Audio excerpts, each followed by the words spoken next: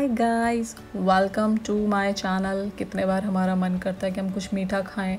साथ में अपनी डाइट भी ख़राब नहीं करना चाहते तो this recipe for you this is oats banana cake जिसमें किसी भी टाइप के मैदा शुगर या ऑयल का यूज़ नहीं किया गया है। इसके लिए हमको चाहिए दो बनाना दो अंडे, कोई भी ड्राई फ्रूट्स ओट्स मल्टीग्रेन आटा jaggery powder unsweetened cocoa powder और बेकिंग सोडा यहाँ पे मैंने बनाना को अच्छे से पील करके, उसके पीसेस करके, उसमें दोनों अंडों को अच्छे से मिक्स किया है।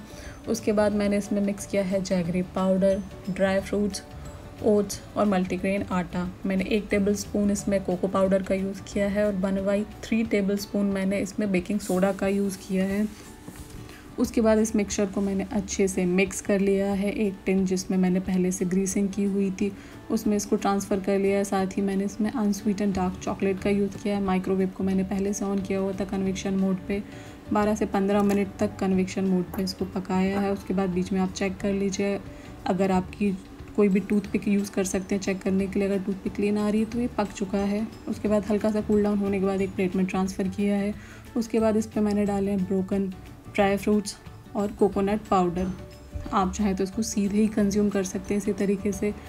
लेकिन मैं नहीं मानने वाली थी गाइस तो मैंने अनस्वीटन डार्क चॉकलेट को मेल्ट किया। उसके बाद मैंने मेरे जो ब्रेड के पीसेस थे, उस पर मैंने स्प्रेड किया है। उसके बाद इस पर स्ट्रॉबेरी से डेकोर किया and see guys how beautiful delicious it's looking enjoy! Have a good day ahead. If you like the recipe please like comment and subscribe. Thank you